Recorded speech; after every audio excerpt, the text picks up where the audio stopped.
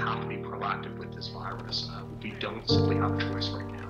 So the longer you wait, generally the broader those restrictions are.